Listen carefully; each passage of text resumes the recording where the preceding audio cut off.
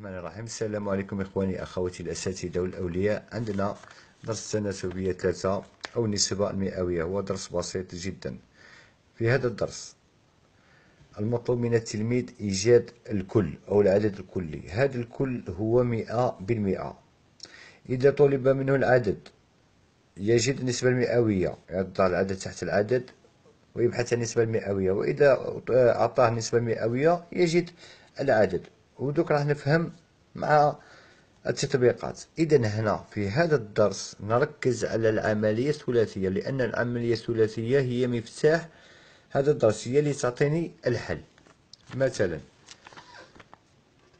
التطبيق يقول يعد مطعم 350 وجبة يوميا توجه 20% منها لملجأ اليتامى احسب عدد الوجبات الموجهة للملجأ. إذا أنا نحوس التلميذ مطلوب منه إيجاد الكل. إذا يعني الكل هو مئة بالمئة. ما هو مئة بالمئة؟ إذا مئة بالمئة ما هو؟ هو تلتمية وخمسين وجبة. هو تلتمية وخمسين وجبة. لأنه يعد المطعم تلتمية وخمسين بالوجبة يعني إذا أعد تلتمية وخمسين وجبة فقد أعدها مئة بالمئة. إذا توجه عشرين بالمئة لملجأ اليتامى. إذا عشرين بالمئة أين أضعها هنا؟ أضعها تحت النسبة المئوية نفسها.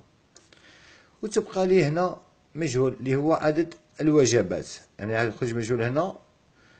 وحدة تاعو وجبة. إذا العملية الثلاثية المسار تاعها هكذا هنا ضرب وهنا قسمة. إذا واش غنضرب عشرين في تلتمية وخمسين؟ إذا تولي لي سبعة آلاف على مئة. هنا راح تولي لي سبعين وجبة. إذا توجه سبعين وجبة إلى ملجأ اليتامى. لو كان يطرح لي سؤال يقول لي ما هو عدد الوجبات المتبقية أو الباقية في المطعم؟ نقص 350 من 70 ولو كان يقول لي ما هي النسبة المئوية للوجبات الباقية في المطعم؟ نقص 100 من 20 يعني نقول له 80% ما زالت في المطعم و20% توجهت إلى ملجأ اليتامى. نذهب إلى التمرين آه واحد. تمرين واحد على علبة عصير برتقال. آه، سجل ما يلي. إذا أن على علبة آه، برتقال فيها الماء والفواكه المواد الحافظة وكل مادة عندها النسبة المئوية تاعها. إذا قال لي أوجد وزن كل مادة. إذا علمت أن العلبة تزن 250 غرام إذا أنا قلت المطلوب من التلميذ يحوس الكل أو 100 بالمئة. ما هي المئة بالمئة لهنا إذا 100 بالمئة هي الكل. ما هي؟ إذا هي العلبة كاملة هي الكل العلبة كاملة. تزن 250 إذا 100% هي 250 غرام إذا أنا نأخذ كل مادة نأخذ كل مادة على هيدا إذا نبدأ بالماء 65% ها الماء 65% إذا 65%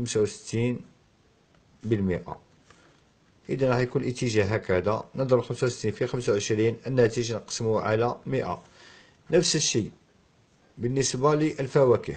دائما الكل هو مئة بالمئة هو ميتين وخمسين غرام بالنسبة للفواكه ثلاثين.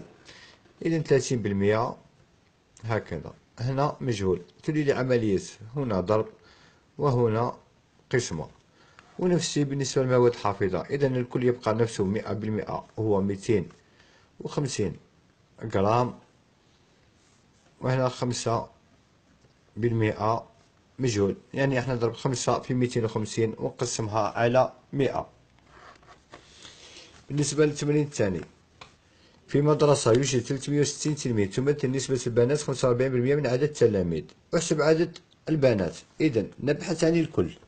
الكل أو مئة بالمئة. إذا نكتب. نكتب مئة بالمئة. هي الكل. إذا الكل في المدرسة هو 360 تلميذ.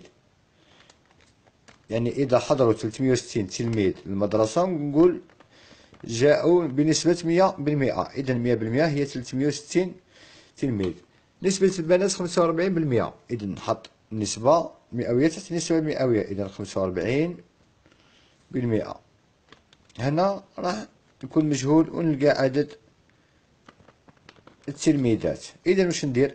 نضرب 45 في 360 ونقسم نضرب خمسة وربعين في تلتمية وستين ونقسم على مئة. إذا نلقى عدد البنات مية واثنين وستين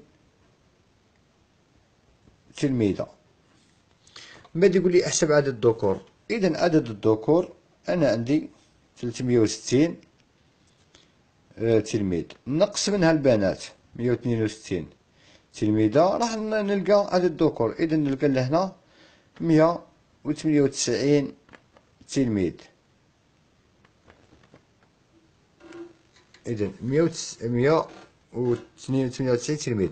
ولو كان يقول لي لهنا مثلا السؤال يقول لي ما هو آه، نسبة ما هي آه، ما هي نسبة الذكور؟ ما نروحش ندير أنا نحسب آه لهنا. ما نروحش ندير لو كان يقول لي مثلا هنا السؤال راه ما هي نسبة الذكور؟ ما نروحش أنا ندير مئة بالمئة هي ثلاثمية وستين تلميذ. وندير هنا مية وثمانية وتسعين تلميذ قداه النسبة المئوية تاعهم. مراش ندير هكا إذا مباشرة عندي الكل هو مئة بالمئة وعندي نسبة البنات خمسة وأربعين بالمئة. إذا نحكم مئة بالمئة نقصها من خمسة وأربعين بالمئة نجد خمسة وخمسين بالمئة. وبعد آه بعد إن شاء الله نكمل الثالث والرابع والخامس. وشكرا.